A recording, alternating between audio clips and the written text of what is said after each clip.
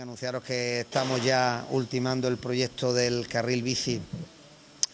que, en su día, en su día se puso en marcha con una petición del ayuntamiento. Eh, bueno, tenemos ya prácticamente el proyecto culminado, ultimado, eh, la cobertura presupuestaria cerrada y bueno, a falta de unos detalles que, hoy precisamente vamos a reunirnos con el ayuntamiento para cerrar, eh, esperemos que no más allá del verano sea también una obra que será licitada y una realidad eh, que viene a un mejorar todo un entorno como es la zona Periquito Melchor, toda la zona de que se está abriendo eh, bueno pues de, la, conexión con los jarales que, viene aún más a mejorar la calidad de vida de los, vecinos y, vecinas de, Linares. Aquí, con financiación 100% fondos FEDER, eh, en torno a 500.000 euros de inversión.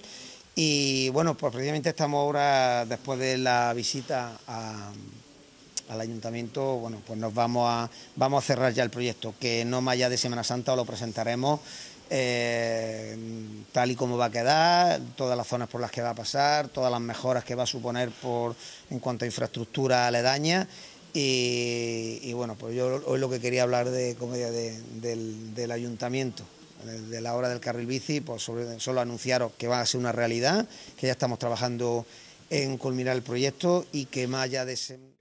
parque de Cantarrana. Sabéis que hay un tramo ahí entre la entrada final de los Jarales, principio de la avenida de Andalucía, donde está la Cabría, en la rotonda esa, hay un tramo ahí por, de entrada a Linares, por Aurea Galindo, el de Aurea Galindo, hay un tramo ahí que está bastante defectuoso, que precisamente no se ha arreglado porque estamos esperando precisamente este proyecto de carril bici que va en la parte del, del voladizo, en la parte de la cuneta y el terraplén que hay ahí hacia el arroyo. Requiere una obra no grande, pero sí hay una, una infraestructura importante para, eh, sobre todo, mm, eh, consolidar la carretera, que no se produzcan desprendimientos, eh, salida de aguas, contener las tierras y sobre todo para que quede una franja de un metro y pico para el carril bici que conectará el que termina, que viene de los jarales, que ya está hecho todos los jarales, eh, hasta la rotonda y desde la rotonda hasta Cantarranas, pero arreglando todo ese tramo de calle y toda esa, esa parte que está muy mal y muy deteriorada, pero es que no queríamos echarle eh, dinero en arreglos precisamente para luego